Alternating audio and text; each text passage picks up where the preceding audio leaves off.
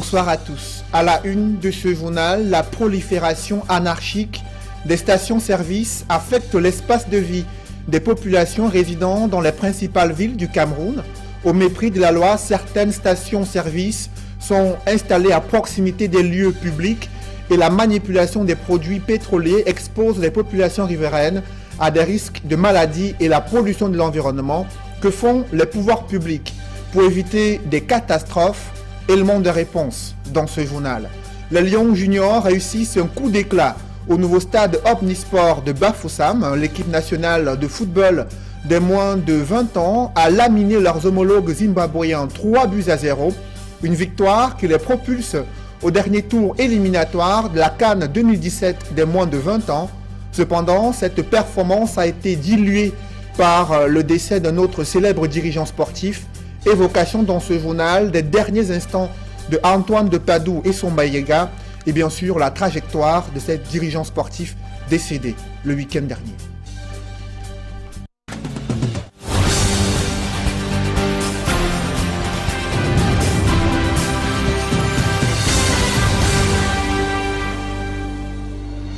Merci de suivre cette édition complète de l'information sur Equinox Télévision. Les pluies sont de retour et pour de nombreux usagers, c'est un véritable calvaire, surtout ceux qui empruntent l'axe Bafan-Kondjok. C'est à peine une cinquantaine de kilomètres qui séparent ces deux villes et pourtant, les usagers qui empruntent cette route doivent y passer toute une journée à cause de nombreux obstacles qui se trouvent sur cet axe routier. Martin Mangalet et Eric Martial Ndjomo. Une dame qui se fait masser la cheville en pleine route. Elle vient de subir un choc important suite à la chute de la moto sur laquelle elle se trouvait. Ce type de scène est fréquent en cette période de début de pluie sur cette route. Oui, justement, ça nous arrive surtout à la manière de manipuler aussi et les charges. Quand il y a des endroits très très accidentés que nous on décharge pour pouvoir monter.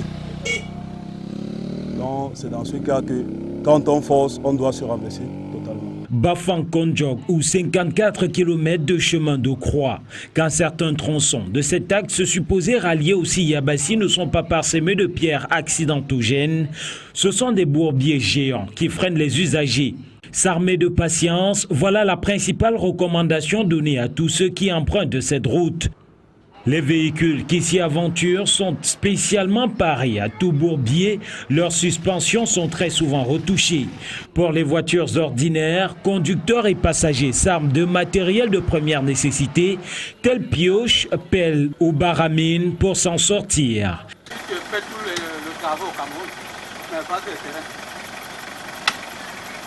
Ainsi, creuser la route n'est pas qu'une affaire de spécialistes. Résultat des cours, 6 à 9 heures de temps pour effectuer ce tronçon en voiture pour un montant oscillant entre 3 000 et 6 000 francs par passager.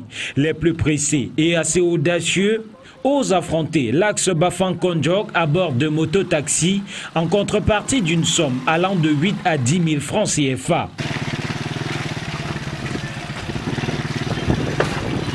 L'un des obstacles majeurs, c'est la traversée des différents cours d'eau le long du chemin. Le pont Mabombe, par exemple, s'effrite au fil des ans. Nous demandons à l'État de bien vouloir et bien aménager ce pont. Tout ce pont sur la route de Nkondjok, Bafang, Bafang. Le pont de, de Ntromban, le pont de, de le pont de Mabombe, plus précisément, maintenant actuellement, est déjà détruit. Pourtant, sur financement du FECOM, selon certaines sources locales, la mairie d'Okonjok avait perçu de l'argent pour l'aménager. Malheureusement, jusqu'ici, rien n'a été fait.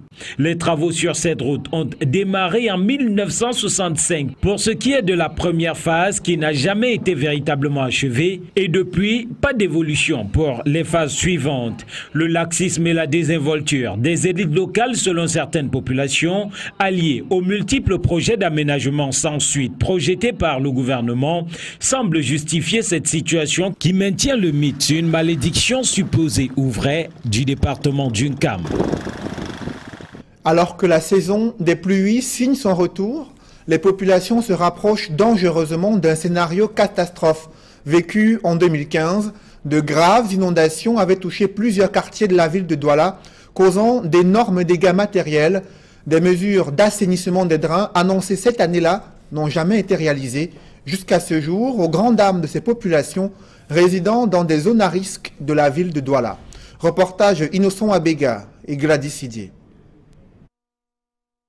Le spectre des inondations de 2015 plane sur certains quartiers de la ville de Douala. Les populations vivent la peur au ventre à l'approche des grandes pluies. Au lieu dit Vallée Hôpital Général, les agents de la communauté urbaine de Douala ont récemment effectué des travaux de drainage.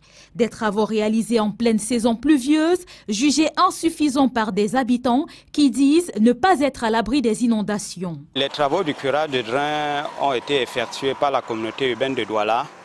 Euh, nous pouvons dire à hauteur de 10%. Donc pour le moment, on voit au moins les bus mais la machine qui est venue travailler pour ici n'est pas adaptée parce que vous voyez là le fond d'eau là qu'il faut pratiquement curer les, les, bus là, mais la machine qui est là, il faut une machine qui marche dans l'eau. Avec cette machine, on peut résoudre le problème de la vallée. Le véritable problème a été occulté selon ses habitants qui réclament de la communauté urbaine de Douala ainsi que de la mairie de Douala 5e bien plus que des travaux de drainage. Moi je pense que pour que le travail soit bien fait, il faudrait que ce pont soit entièrement cassé et qu'il soit écarté, que ces vues soient enlevées et que ce soit un grand lit qui passe à l'intérieur. Même quand le débit d'eau est grand, que ça ne puisse pas déborder l'espace prévu pour faire circuler de l'eau. Le véritable problème ici, c'est ce pont qui a été fait en bus. Donc il faut automatiquement retirer ces bus et faire, euh, je crois, un dalo complet qui va permettre la circulation des eaux. Parce que quand l'eau arrive là, ça se bloque et puis le dépôt de limon, de sable et tout font les remontées d'eau en surface. Si ici les travaux ont été entamés malgré les manquements, à Makepe Misoke par contre, rien n'a bougé. À cet endroit, en 2015, plusieurs maisons d'habitation avaient été détruites, ceci dans le but de lutter contre les inondations. La vaste campagne de démolition visait à libérer les emprises des drains occupés par les habitations. Un an après ces inondations spectaculaires, les craintes des populations demeurent intactes. Nous sommes là depuis, depuis là, on attend, on attend mais on n'y a pas de changement. Quand ils sont venus d'abord, ils ont, ils ont, au lieu de, qu'on avait au lieu de drainer, ils ont envoyé plutôt ici là. Donc, c'est fait donc quand il pleut, l'eau maintenant contourne, ça contourne maintenant, ça contourne, ça entre dans la maison. Vous voyez comment le bas là, non? Vous voyez le bas là? Donc quand, il pleut comme ça, l'eau s'y va comme ça, ça, ne passe même plus comme ça là. Ça draine maintenant, maintenant puisque ils ont fendu la rigole là. Ça entre maintenant que dans les quartiers, ça contourne, ça fait les inondations. On nous a fait comprendre qu'on devait drainer. Donc c'est le drainage que depuis, depuis qu'on attend. Monsieur le maire nous avait qu'on devait drainer. Et tout dernièrement, j'ai même suivi à la télé, on disait que c'est le mois de juin. Voici le mois de juin qui est en train de passer. Je ne sais pas si saison pluvieuse qui vont drainer. Une épaisse broussaille a envahi une partie de l'espace jadis occupé par les maisons. À côté de cela, les champs de maïs ont vu le jour. Ce sont des populations désespérées qui, faute de mieux, disent attendre sur place le retour des fortes pluies. Parce que la manière qu'ils ont fait l'année passée, on se disait qu'à ce moment, on devait plus être à ce niveau. On se disait que non, ça devait... Hein, pour casser les gens, on est, rapide pour casser, mais pour arranger, c'est difficile. Hein ça devient notre problème. C'est déjà un an, c'est déjà un an, oui, ça fait un an.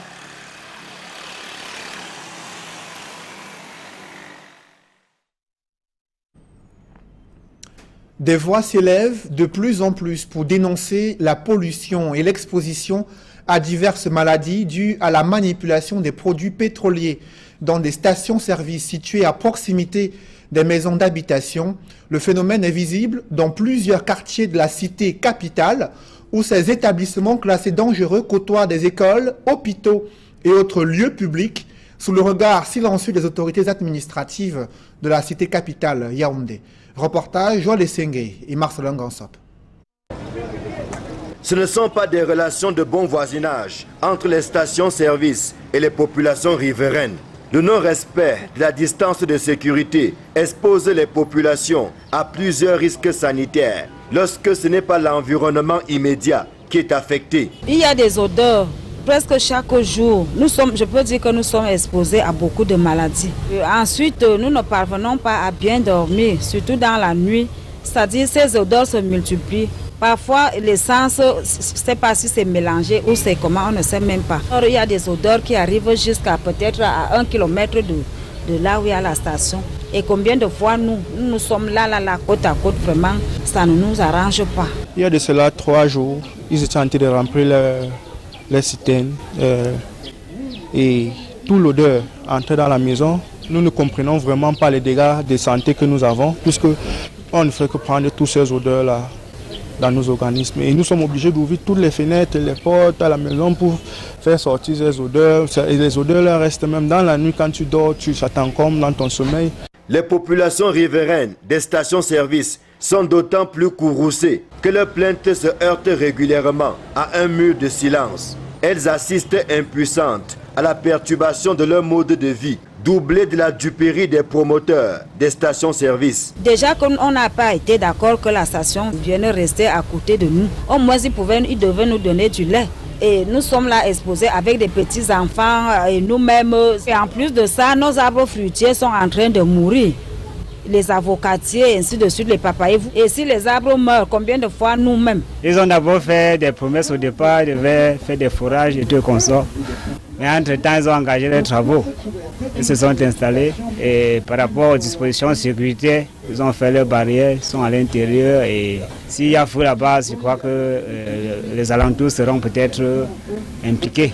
L'inspection des établissements classés en 2015 a montré que le gouvernement a du pain sur la planche pour amener les opérateurs égarés sur le droit chemin. Sauf que dans la plupart des cas, les stations-service sont venues trouver des populations installées depuis belle lurette. Et pourtant, les pouvoirs publics ont donné leur caution. Si on a fait une station quelque part avant que la population n'arrive, on peut prendre des dispositions. C'est-à-dire on peut se dire, puisque la station est déjà implantée, il faudrait éviter absolument que la population vienne s'installer tout autour. Peut-être c'est devenu un business. Et qu'est-ce qu'on fait de la population? Qu'est-ce qu'on pense de tous ceux qui sont tout autour? Bon, peut-être d'ici à là, on va veiller là-dessus, mais pour le moment, nous on trouve ça vraiment inquiétant. Ce qui fait de leurs promoteurs des gros poissons qui ne font pas cas des préoccupations des petits, que sont les riverains de ces stations-service. Il existe pourtant des textes fixant les modalités d'implantation des services des stations de distribution des produits pétroliers au Cameroun, mais très peu de ces établissements classés dangereux respectent la réglementation en vigueur. Je vous propose à ce sujet de suivre la réaction du sous-directeur des risques industriels au ministère des Mines, Djembele Bagoutou, qui s'exprime au micro de nos reporters.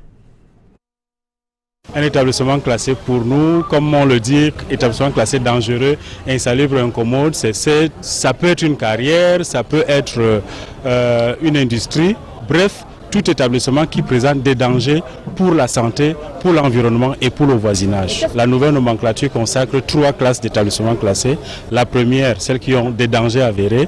La deuxième, dont les dangers sont moyens et la troisième qui ne présente pratiquement pas de danger. Et quand on est première classe, on doit passer nécessairement d'abord par une étude d'impact environnemental validée par le comité interministériel et une étude de danger assortie d'un plan d'urgence validé aussi par le comité interministériel avant l'autorisation d'implantation d'exploitation. Lorsque les établissements ne sont pas en conformité, il y a d'abord la première étape, c'est la mise en demeure pour leur permettre de se conformer à la réglementation.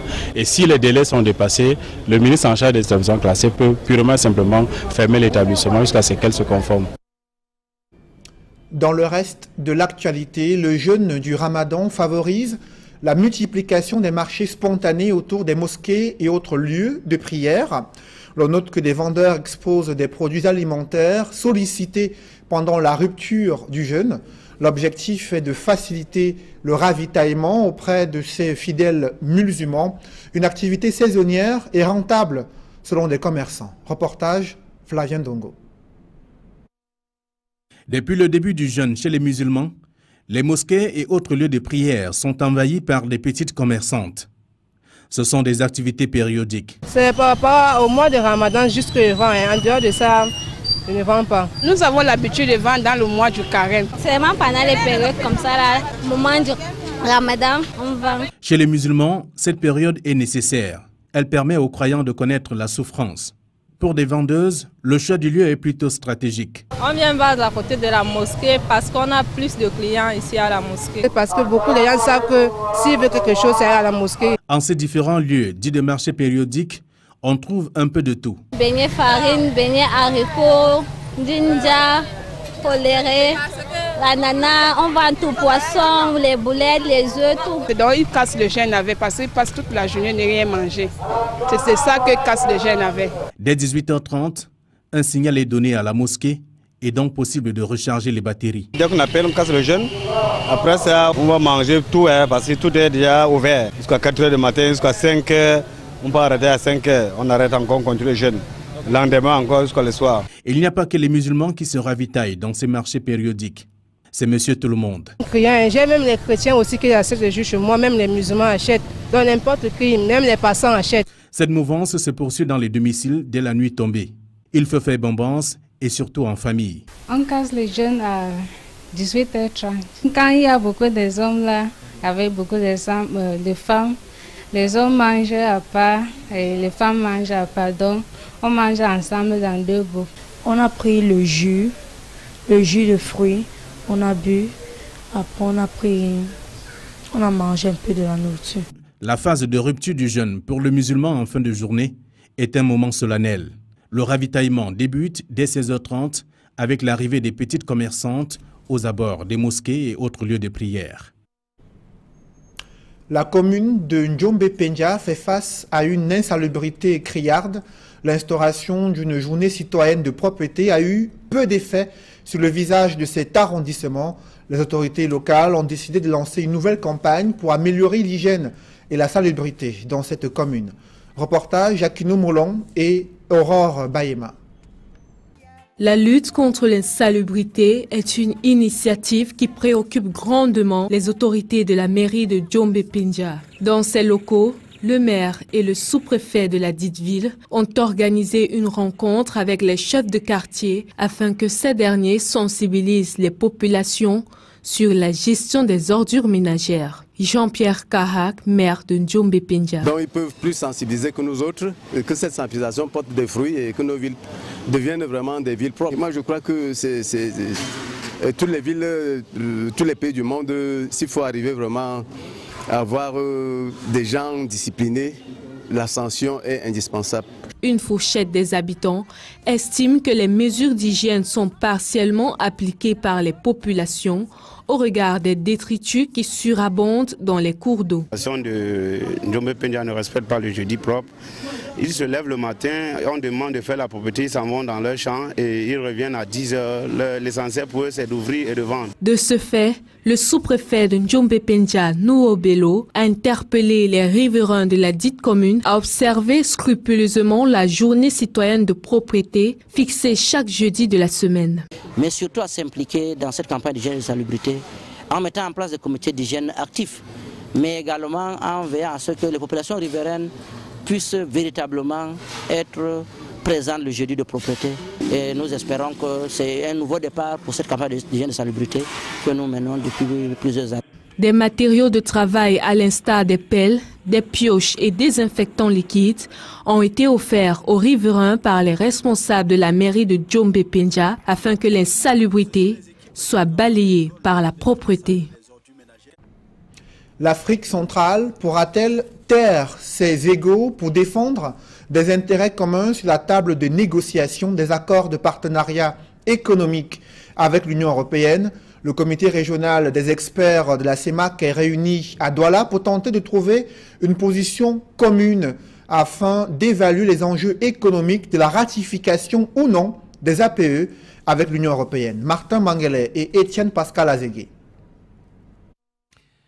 Les pays membres de la communauté économique et monétaire de l'Afrique centrale et ceux de la communauté économique des États de l'Afrique centrale souhaitent conclure avec l'Union européenne des accords qui vont booster leurs économies.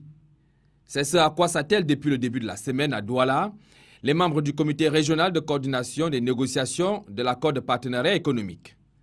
Les priorités ici sont entre autres la zone de libre-échange et les mesures d'accompagnement. Nous avons le volet mis en, place, la zone de libre-échange, qui est le volet commercial, qui va se traduire par un démantèlement tarifaire. Et nous avons le volet développement, le volet développement qui concerne les mesures d'accompagnement, c'est-à-dire le programme de renforcement des capacités et de mise à niveau des entreprises et la possibilité d'absorber l'impact fiscal net, parce que les pertes des États doivent avoir... Euh, euh, il y a un, un fonds qui est prévu pour pouvoir compenser les pertes des recettes. Les travaux de ce comité doivent déboucher sur un ensemble de propositions concrètes sur les sujets encore sur la table des discussions avec l'Union européenne qui seront ensuite soumises à l'approbation du comité ministériel des négociations de l'APE prévu le 17 juin dans la capitale économique. Le comité régional doit pouvoir se prononcer sans ambiguïté sur ces sujets de manière à proposer au communal des pistes de solutions idoines permettant d'apporter à la partie européenne des réponses appropriées à ses préoccupations majeures, tout en exprimant au mieux les exigences de la partie Afrique centrale. Il faudra essayer de taire les considérations nationales pour faire prévaloir autant que faire se peut les intérêts de notre communauté. Les huit États de la sous-région Afrique centrale euh, ne sont pas à mesure d'assumer seuls les charges financières pour la bonne santé de leurs économies. Et il se trouve que nos petites et moyennes entreprises et même nos États, par les temps qui courent avec les difficultés que nous connaissons, nous ne pourrons pas seuls assumer, hein, si vous voulez, la charge financière euh, en ce qui concerne ces mesures d'accompagnement. Donc nous avons besoin que la partie européenne et nous allions ensemble pour euh, aider la région à supporter euh, cet effort de financement. La 14e session du comité des ministres en charge des négociations qui s'ouvre cette fin de semaine devra renforcer l'argumentaire de la partie Afrique centrale qui milite en faveur de la reprise des négociations conjointes avec l'Union européenne. Des sons discordants se font entendre lors du renouvellement des instances dirigeantes des circonscriptions de base du SDF. Certains cadres de ce parti tirent la sonnette d'alarme sur la multiplication des irrégularités et de nombreuses factions qui fragilisent le principal parti de l'opposition. Plus de précisions dans ce reportage de Martin Mangelet et Sylvestre Zangaou. Avant la bataille régionale, à la faveur des élections prévues le 3 juillet 2016, dans le littoral, l'on vient de franchir la première borne de l'opération de renouvellement des organes de base du SDF avec les élections au niveau des arrondissements. Un pas déterminant, pense Carlos Ngualem, nouvellement élu président de la circonscription électorale de Douala 5e. L'influence que cette élection a sur la conférence régionale est significative. Et il faut savoir que les délégués à la conférence régionale sont issus des circonscriptions électorales et des départements. Donc en réalité, lorsque vous êtes candidat au poste de président régional ou bien de membre du bureau régional, c'est auprès des délégués des circonscriptions électorales que vous devez aller battre campagne. Abel Elimbi Lobé, qui n'a pas présenté sa candidature dans cette circonscription, affirme que le processus a été faussé d'entrée de jeu par des actes non démocratiques. Il pense que des luttes fratricides internes constituent le vivier politique du SIF à Douala 5. J'ai donc décidé de ne pas être candidat. Les élections dans les circonscriptions électorales sont chaotiques et c'est d'elles que devront découler les élections régionales. Dans le littoral, des batailles sont ouvertes depuis au sein du Social Democratic Front pour le contrôle du parti de la balance dans la région. Une situation normale, affirme Carlos Ngualem, pour qui le parti de la balance affiche ainsi la liberté de ses militants à s'exprimer. Le SDF est un parti démocratique et chacun peut aspirer à un poste de responsabilité au niveau du parti. Donc euh, pour moi, le fait qu'il y ait des adversaires ne pose pas un problème. Au contraire, le SDF a toujours fait la promotion de la démocratie.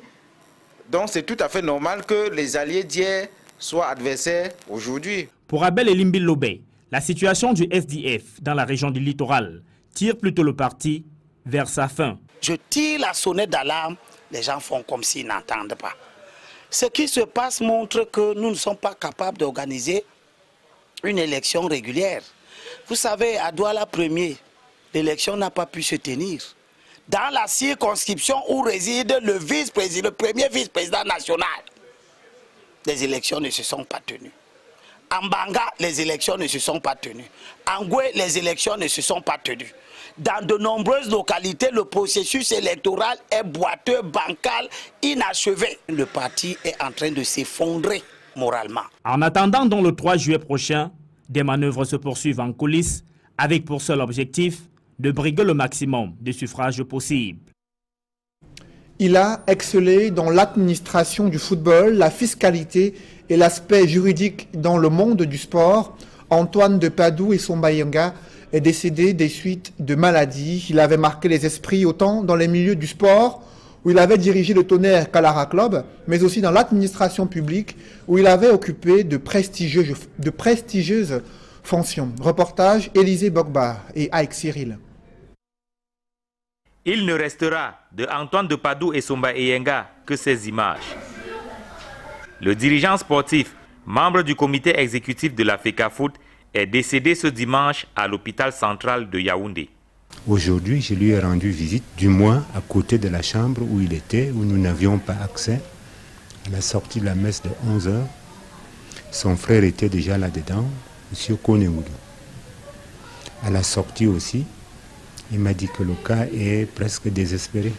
Le cœur s'est arrêté hier. On a tenté par voie d'oxygène et tout ça. Mais les mouvements ne revenaient plus. La fatigue était déjà presque totale et générale.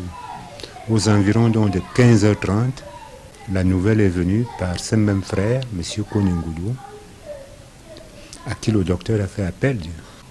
À notre arrivée, c'était juste pour constater le transfert du corps pour la, morgue de Ngousso, hôpital général. C'est le 3 mai dernier que Antoine de Padoue et Somba Eyenga a ressenti ses premières douleurs. On a parlé des reins parce qu'il a été paralysé depuis euh, tous les membres, les membres supérieurs, les membres inférieurs, ne bougeait plus. Certains disent inflammation de la moelle épinière, les veines qui ne donnaient plus. Ce n'était pas tellement un aspect diabétique. Le suivi médical au pavillon au standing de l'hôpital central de Yaoundé étant sans succès, il sera transféré aux urgences pour des soins plus intensifs. Ils sont bien malade depuis euh, que deux mois. Il a été transféré d'urgence de, au standing de l'hôpital central pour le curie. on pensait qu'il y aurait plus, euh, des soins beaucoup plus intensifs à ce niveau.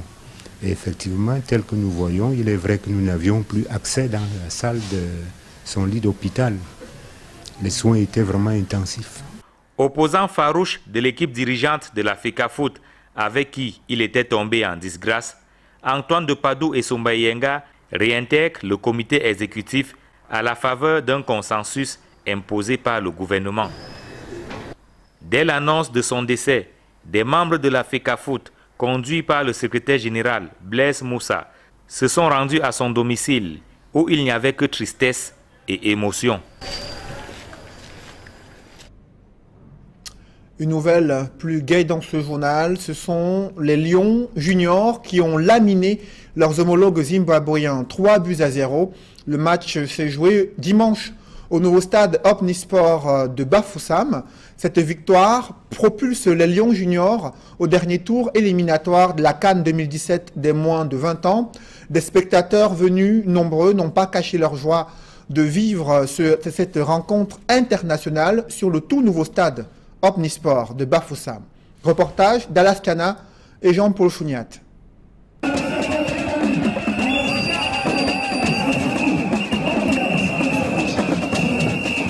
Très attendu dans ce premier match officiel au stade Omnisport de Bafoussam. Les Lions indomptables juniors ont tenu le pari de baptiser cette pelouse par une victoire, remportant la partie 3 buts à 0 devant les bébés Warriors du Zimbabwe.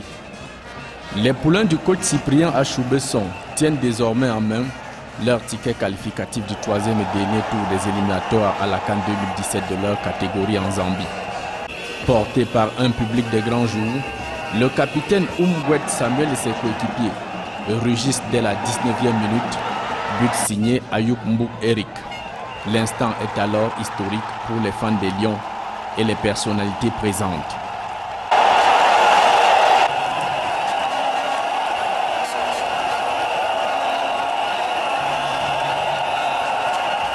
Les spectateurs ne finissent pas de jubiler, que deux minutes plus tard, on l'a de Martin inscrit le deuxième but des Lyonceaux?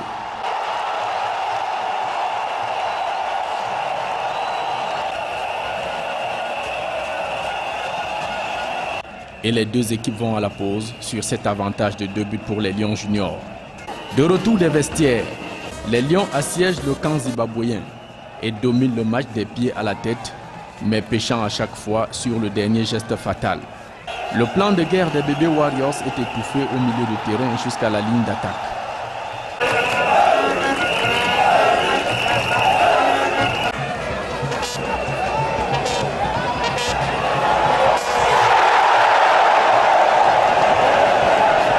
Dans l'euphorie totale, Shengan Ganle, entré à 5 minutes de la fin du match, marque le troisième but camerounais.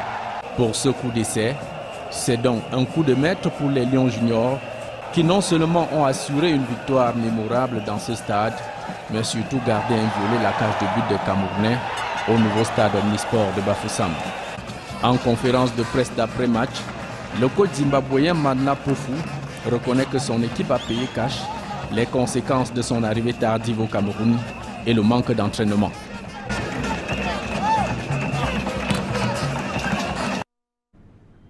Comment les entraîneurs de ces deux équipes nationales juniors de football ont-ils apprécié les performances de leurs poulains et leurs adversaires? Je vous propose d'écouter un extrait de leur intervention lors de la conférence de presse d'après-match.